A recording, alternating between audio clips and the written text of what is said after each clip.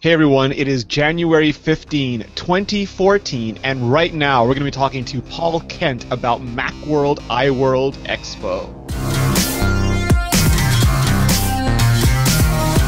Joining me as always is the managing editor of iMore, Mr. Peter Cohen. How are you, Peter?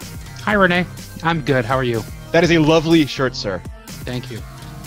Also joining me, I am thrilled to announce we have I, I don't know what your official title is. I'm going to call you head honcho of Macworld iWorld Expo. Paul Kent, how are you, Paul? I'm doing great, Rene, and that is a lovely hoodie you're wearing.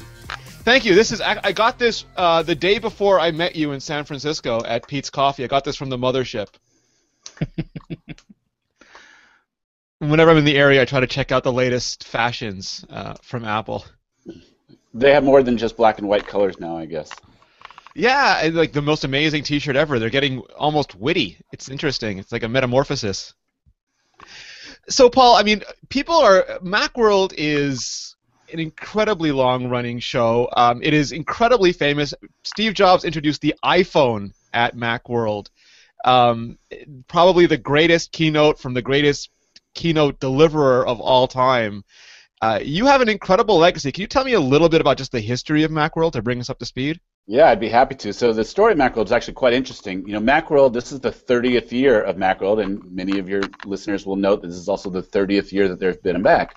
And that's not a coincidence. Um, Macworld Trade Show and Macworld the magazine were actually part of the original Mac rollout things. I mean, you know, it was a relationship between Apple and IDG at, at the launch of, of the original Mac um, that that led there to be created. You know, there was this new computer coming out, and there was not really a, an industry surrounding around it. And so IDG, you know, was essentially the largest technology publishing company in the world.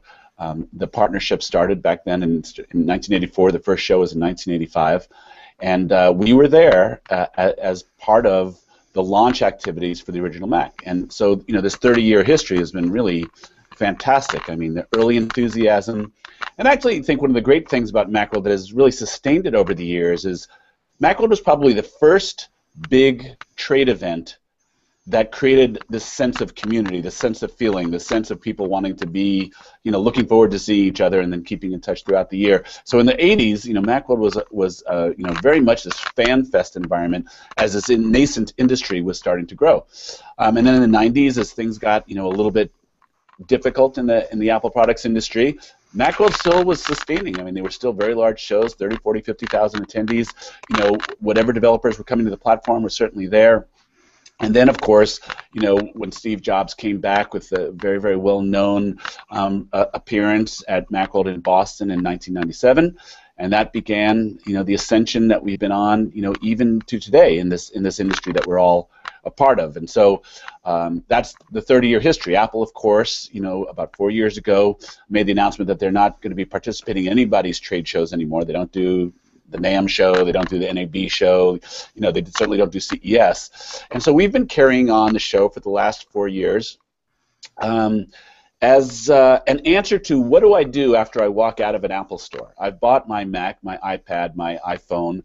Now, how do I learn to use it better, and what cool things can I find to make the experience of using it better? And and it's been very successful. We've we've um, added a lot of creative and cultural events to the show. We have musical performances, we have art galleries, we have um, we have uh, videography events. We have a film festival. So we've had all these kind of very, very interesting things that have gone on over the past years, and it's taken a different role. But again, 30 years later, events morph to the industry that they're serving, and uh, we're really happy with where it is right now. We've been open. You know, we started our alumni registration. Um, in the beginning of of, uh, of December, and the people who have been coming years and years and years certainly have signed up. We have this great foundation of attendees. About 15,000 people are already signed up and you know now we have, still have two and a half more months before the show, which is at the end of March this year for the first time uh, that we deliver the show uh, March 27th to 29th. So I mean, I'm eager to hear Peter's thoughts on this, but I I'm amazed. My first MacWorld, my first show I ever covered was MacWorld, so it was sort of my initiation into this, and I got that immediate sense. I saw people walking around there who had been there from the beginning, from the first Mac, and I saw people who were, you know, had had just bought their first iPhone, and the incredible gamut of people it covered, and the incredible amount of products it showcased Uh, and more than that, I think that that year I took the Final Cut Pro course at Macworld, and that's how I learned how to use Final Cut Pro.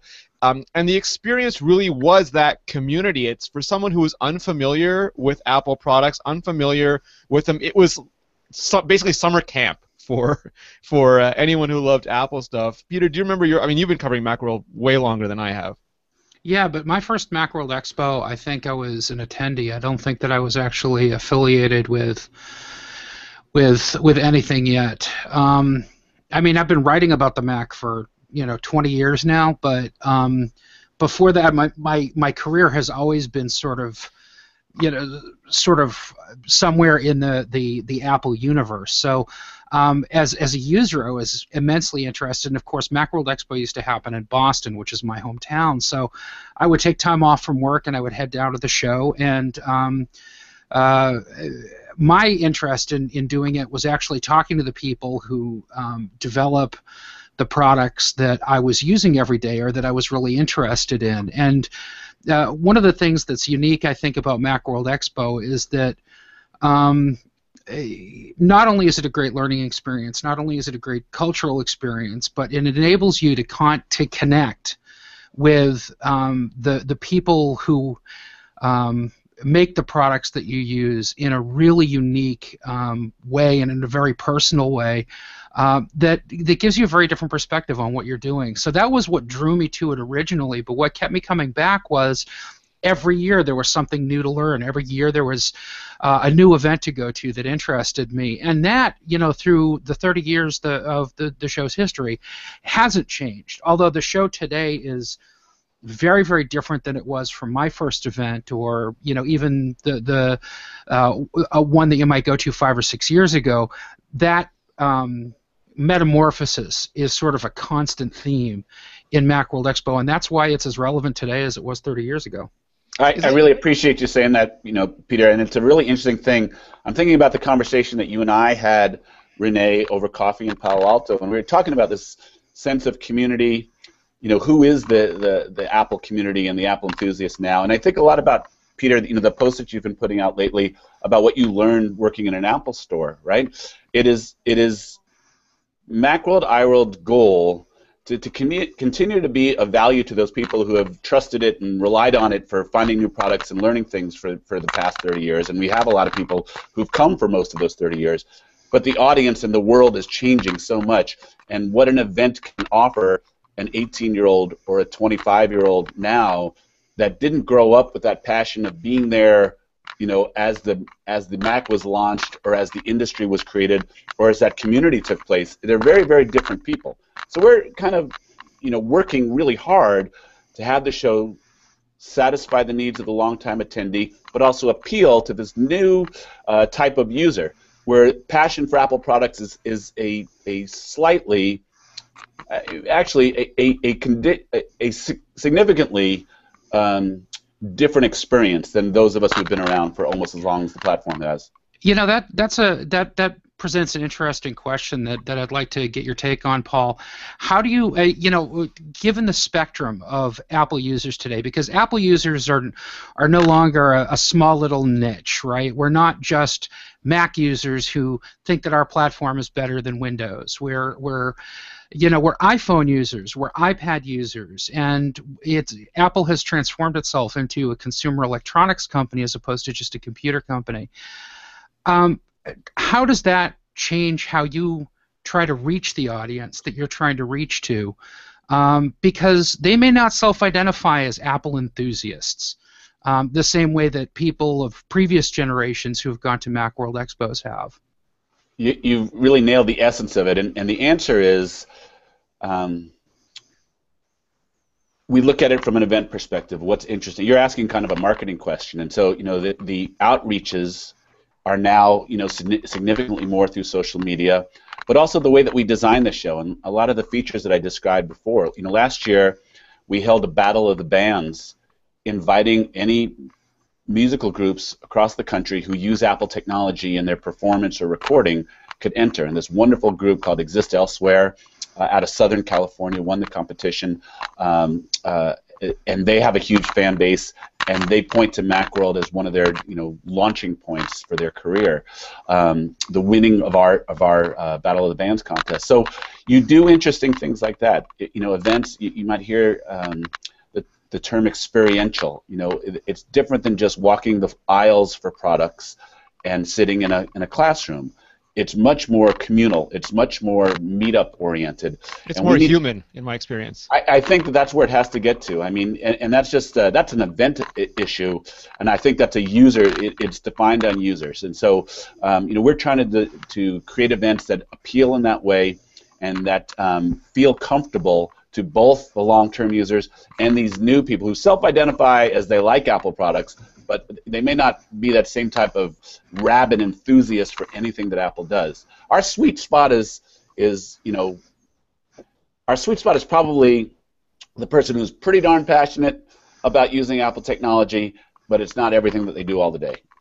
We, you have the same challenge with Macworld, iWorld that I think we have with iMore, and that's the sheer scope of Apple's audience these days. Absolutely. They're not, to Peter's point, a niche underdog computer company.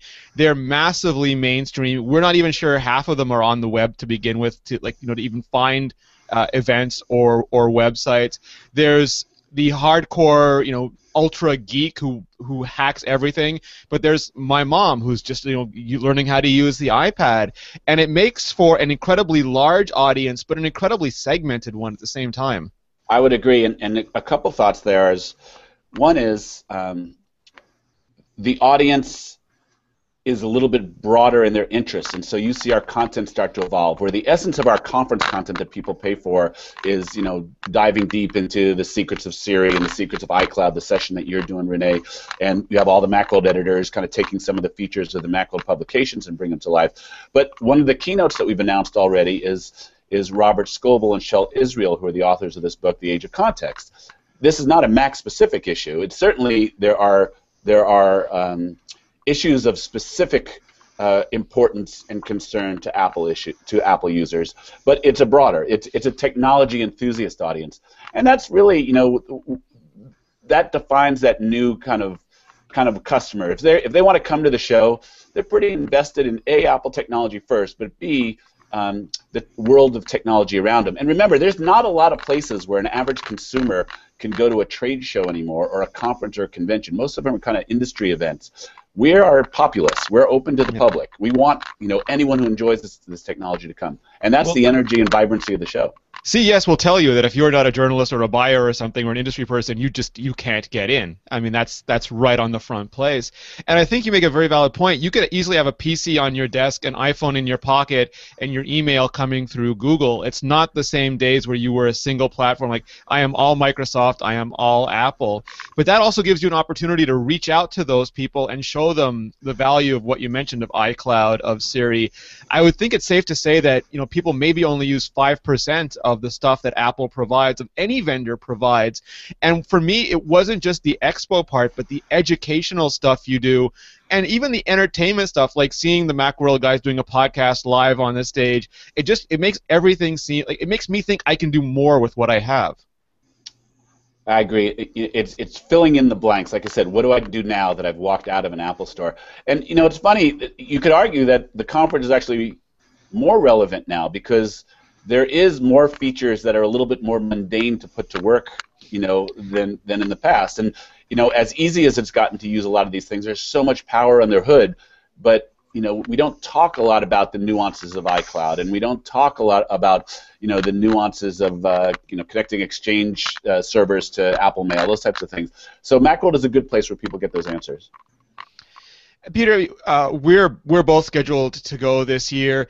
Uh, we will walk the floor. We will look at the cases. But I think, at least in my experience from the last few years, and I, I wrote this up uh, last year or the year before, was that more than ever now, this feels like my Macworld. It feels like I can tailor the event to my specific interests. Yeah, I have the uh, the same sense. You know, looking over the uh, the the uh, the show's website uh, at macworldiworld.com, um, the, the the content that's on there there's there's stuff each day that's really well suited for uh, for people no matter what their interests are um, as far as that's concerned Paul how do you put together uh, the agenda for a show like this? What does it take to sort of gather up the um, uh, the the expertise for the people who are talking and uh, and, and get them all sort of uh, working off the same page? Got it. So um, there's a couple answers to that. We do an open call for ideas where anybody can submit what they're doing. We give some guidelines. We're looking for people who are doing state-of-the-art implementations of putting Apple technology to work. And you know, we get a couple hundred submissions and then we work closely with um, two groups. We have an industry advisory council. Rene is on the industry advisory council, actually. And then we also have an editorial advisory council, which is essentially the Macworld editors. And they give us feedback. Both groups give us feedback about uh, things that should go on.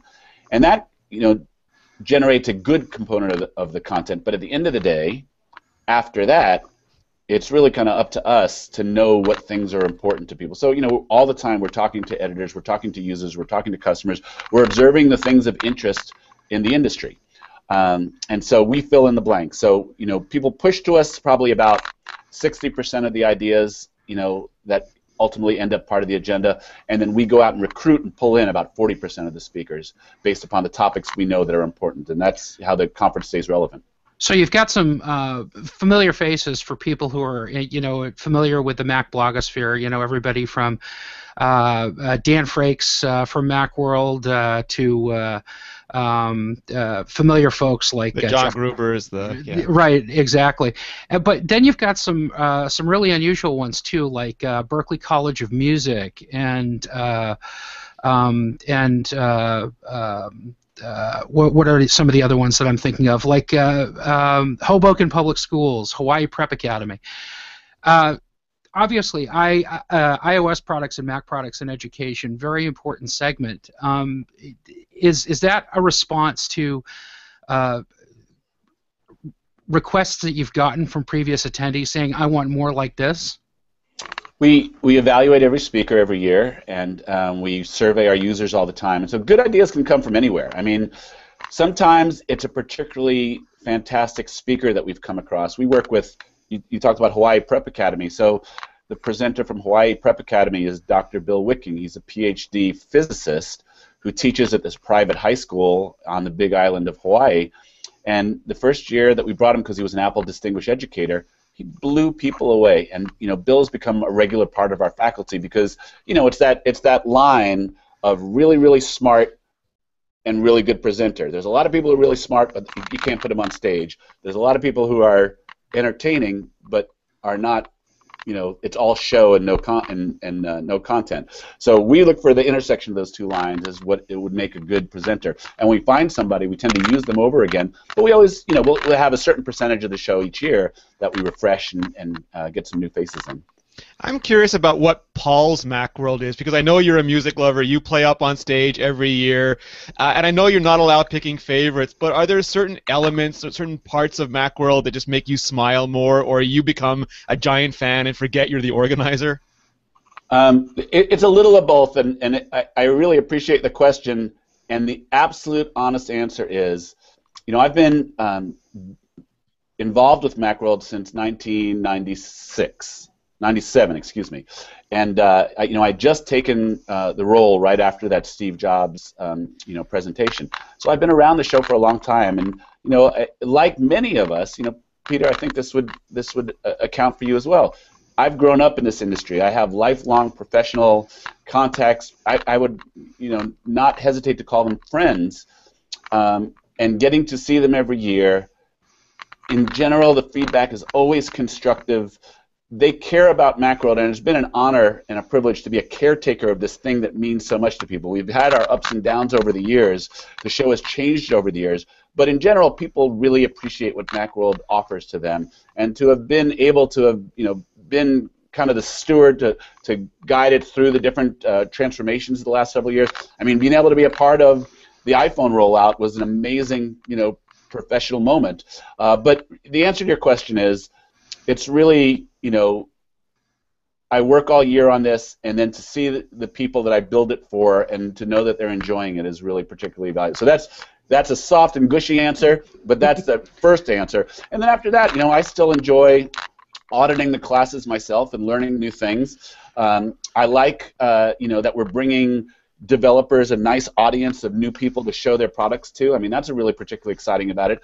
The the makeup of the type of people who exhibit at the show is much different now. A lot of them are companies, emerging companies coming to market. We put a real emphasis on getting app developers to come to the show, and so you know we'll have as many as 150 app developers at the show. You don't get to go talk to the guy who developed a product in very many places. You don't get to kind of be in ground central of the greatest app developers in the world all in one place at one time, and there's a certain energy to that as well. So I guess everything I'm saying to you is, you know, building a show that has meaning and then getting the feedback that people enjoy the show, you know, is very, very um, gratifying to me.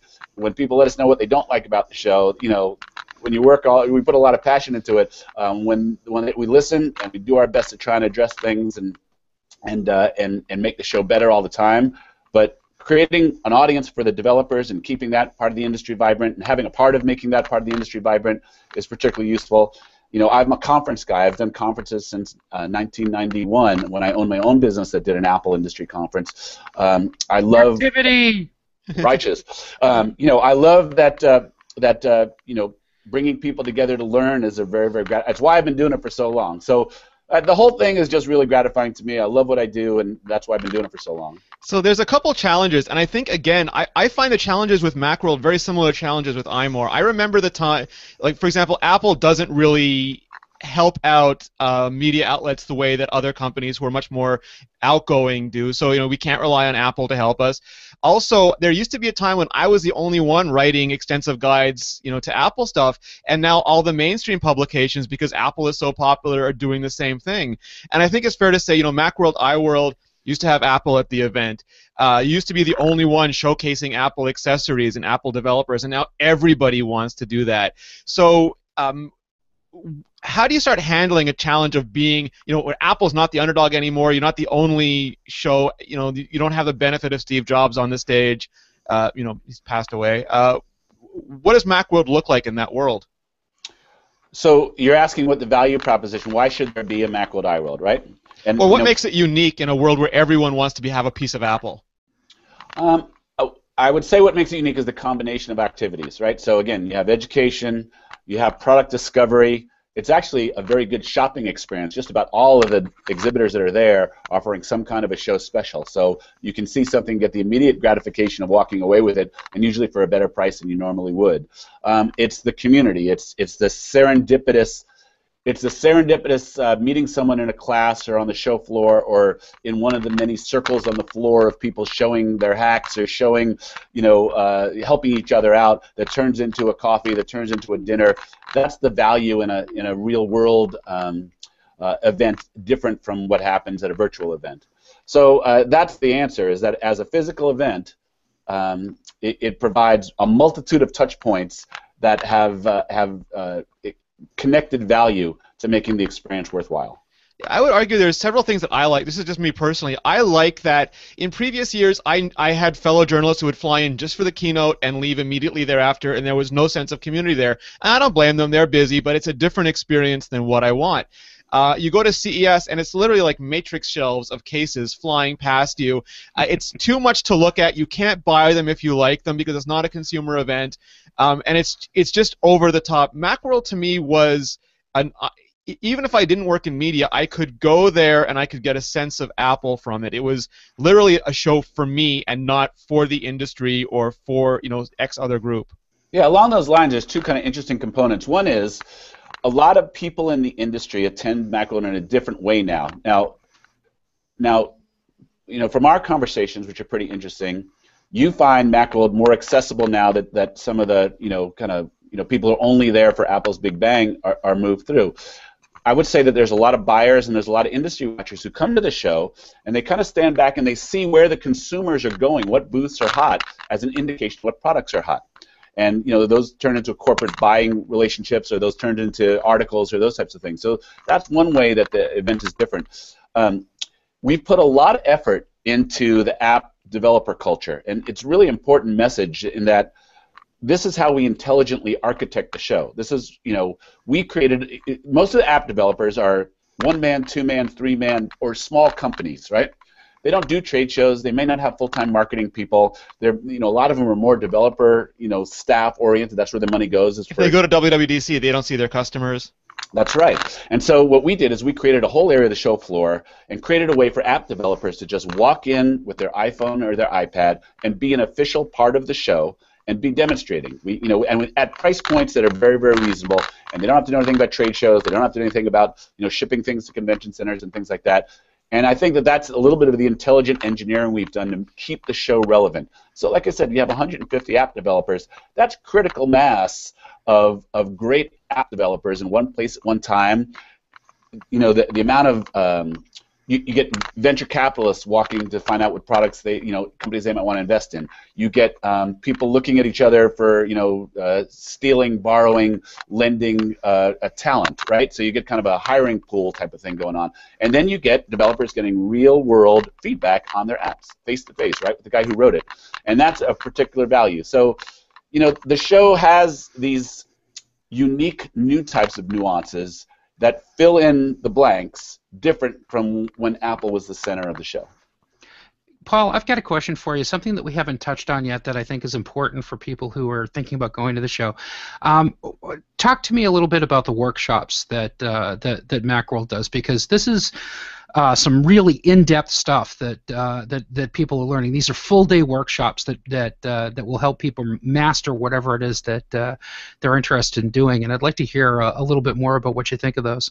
Absolutely. So what we do is the show is the March 27th to 29th, which is a Thursday, Friday, Saturday. But on Wednesday, while we're still kind of setting up the exhibit hall, we use the meeting rooms for these full day, deep dive, in depth workshops. So these are one day. Um, most of them are one instructor. Um, and there are anywhere from 50 to 200 people who attend uh, these courses, um, but they're of topics that are of particular interest. So, just to touch on a couple of the great ones that we have this year, we have a full day workshop that Jack Hollingsworth and um, Dan Marcolina are doing on iPhoneography. The, the, the the art and science of taking great pictures with your iPhone is exploding into kind of a semi-professional realm now. Uh, and these two guys have you know published books on it, and they do classes all around the world. They're doing a full-day class to give people everything they need to know about using your iPhone as a as a semi-professional to professional uh, camera and it's great. We did it last year. It was you know, tremendously well received. Um, you'll learn about a lot of products that you wouldn't have known about and see how they get put to, to work. And you learn about again, again the art and science of taking pictures with your with your uh, iPhone or iPad. So that's kind of a cool one. Chris Breen is doing a session that is uh, selling really really well. That is the iPad in business. There's a lot of talk about how the iPad is a tool for small business. Chris is going to go deeper into this for a full day and talk about all the different ways and show examples, everything, know, point of sale, uh, you know, marketing, you know, everything that the iPad can do in the realm of being a, a useful tool in a small business.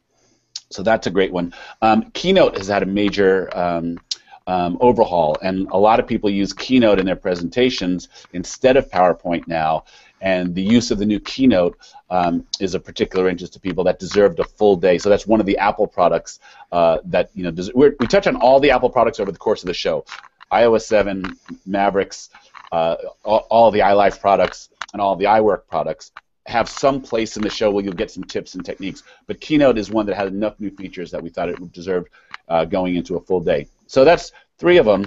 There are technical ones for IT admins that are, you know, maybe beyond the scope of this conversation. But I encourage people to look on the website.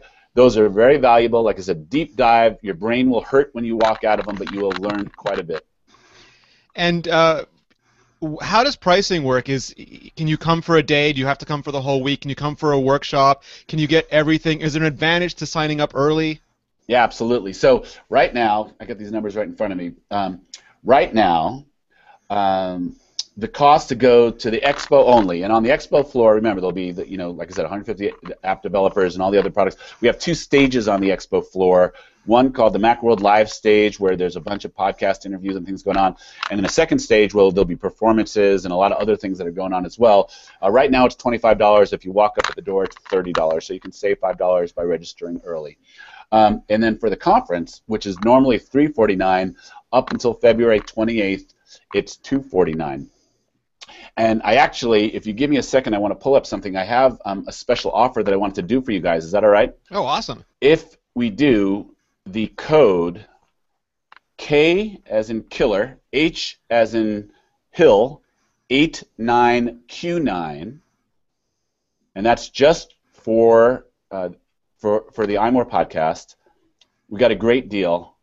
$10 for an Expo Hall pass and $149 for a conference pass. That's the full two and a half day conference. So, so $100 wow. off of our already discounted price, but it's going to be 48 hours only. So you tell me when this goes live, and that code will be good for 48 hours. That is fantastic, Paul. Thank you. On behalf of the iMore readership and viewership, I thank you. I hope a lot of people take advantage of it. We want to see as many people there as possible. So, Paul, um, I know you have to run. I appreciate your time. If people want to find out more about Macworld and iWorld, where can they go? MacWorldIWorld.com. You can also follow us at um, on Twitter, and you can also check out our Facebook page. And if people are interested in you, maybe where you're playing your gigs, are you on Twitter as well? Uh, yeah, so we didn't talk about my, my budding career as a rock star, as an aging rock star, as an aged rock star. But um, yeah, you know, I play with the Macworld All Star Band with a bunch of our friends from the Apple industry. Uh, we'll be playing at that Mac 30th uh, celebration that's going on in Cupertino, um, and that's kind of cool. So for the Mac 30th, if you're in California, if you want to fly in for that one, um, but uh, yeah, uh, if you want to check out what I do when I'm here in, in Silicon Valley, uh, SV, like Silicon Valley, houserockers.com, or find the House Rockers on Facebook and come out and see me play guitar and say hi. And you're at Paul Kent? At Paul Kent, that's right. Awesome. Paul, thank you so much for your time. I really appreciate it. Totally my pleasure. Thanks for having me on. Great to see you guys both again. And Peter, a pleasure as always. Thank you, Rene. Likewise. All right, and thank you everyone for watching. Uh, we'll have more. We're going to be covering MacWorld up to the show, during the show, and after the show. So keep it locked to imore.com.